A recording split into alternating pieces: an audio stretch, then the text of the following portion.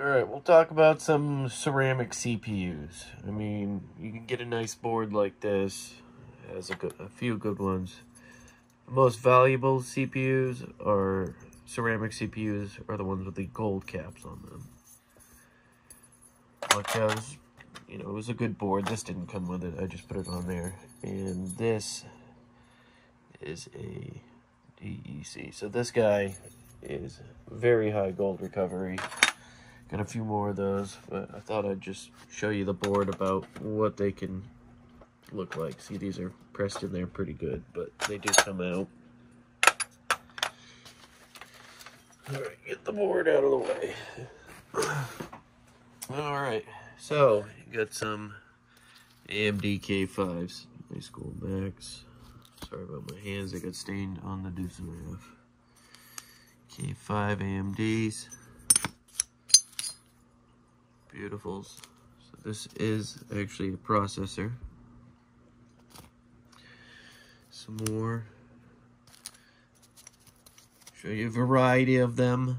See, this is a pinless. These are nothing special. And as you can see underneath some of the caps, I don't believe that is gold bond wire. But some little ICs have gold legs. Got your cheap AMD ceramics. Even cheaper AMD ceramics. These guys are awful. Black fiber Intel CPU. Uh, these go for a good chunk of change on eBay. Especially these ones. Come on. A lot of them have little windows where you can see if they have gold bond wires or not. This one, I took the cap off. And yes, there is gold bond wires. Sorry, I'm trying to get it to focus. Nope, not gonna focus. And then these little guys, tried breaking a few of these up. They are like stones. and then there's even these even smaller little guys right there. It's kind of a collection. And then we're going to talk about the mother of all CPUs. The most overrated, or is it the most valuable?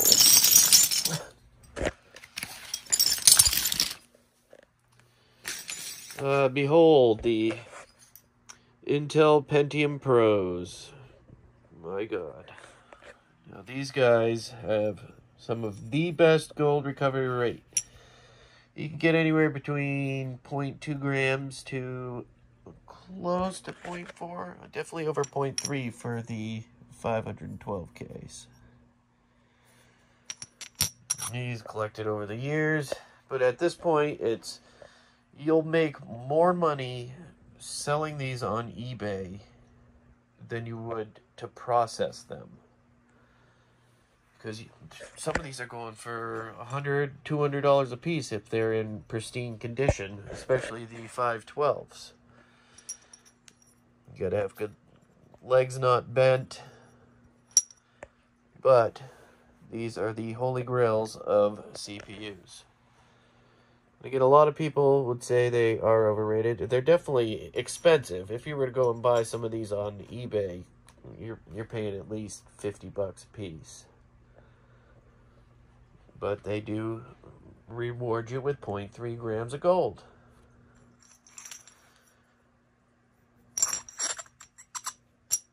We'll go into a video. I should have uh, done this a lot sooner. I had not not I processed like 10 of these but I've had a whole bunch of Intel Pentium processors, whole bunch of AMDs, but I processed them all. So these guys have been building up for quite some time now, but look at that sea of ceramic gold. Tell me what you guys think. And last thing I wanted to point out is you would need this entire box of cheap cream fiber CPUs, which these are abundant. They're everywhere. There is gold legs on them, but I don't think you actually get any gold. But you would need, especially these ones. These ones are awful. There is the successful engineer on YouTube.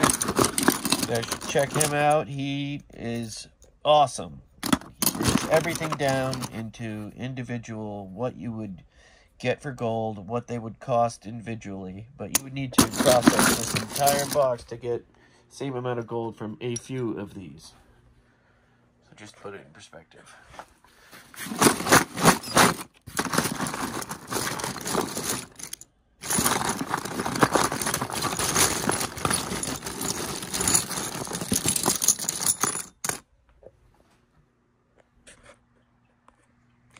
My most precious possession.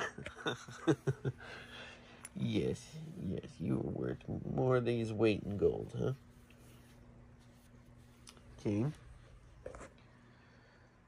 A ragdoll. Suggest everyone gets a ragdoll. They are the cutest. Called puppy cats. Puppy cats.